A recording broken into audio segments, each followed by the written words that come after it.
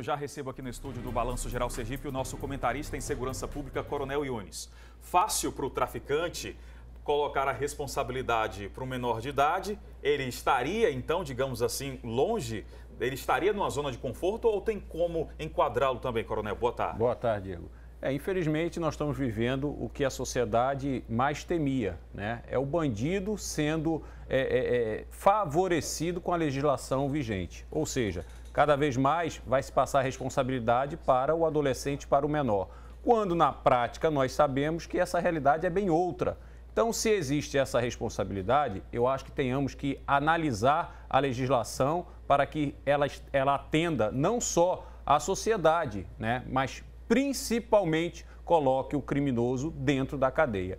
Então ele passa a responsabilidade, o maior diz que a droga é dele e que nós sabemos que na maioria das vezes isso não ocorre. Então por que, que ele não fica preso por estar tá fazendo com que o menor venda a droga. Vamos buscar na própria legislação outros caminhos que mantenham também preso. O que vai ocorrer, sem dúvida alguma, é que essa pessoa estará mais uma vez solta, cometendo delitos e vendendo droga. Isso é o que vai ocorrer. Isso é o que nós estamos vendo todos os dias no Brasil. E Sergipe, infelizmente, não está fora. Se foi apreendido 100 quilos, vamos imaginar quantos quilos mais de droga estão transitando, estão sendo vendidos. Então, a polícia está fazendo seu papel, mas é um papel que, infelizmente, de enxugar gelo. É a realidade, faz com que os policiais estejam a cada vez mais desmotivados por essa sociedade que a cada vez mais não protege os bons, estão protegendo os maus, estão tomando e perdendo espaço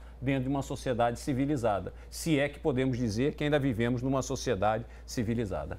E a gente vê aí uma série de reformas, reformar o Código Penal fora de cogitação, pelo menos por enquanto, porque a gente não escuta falar disso.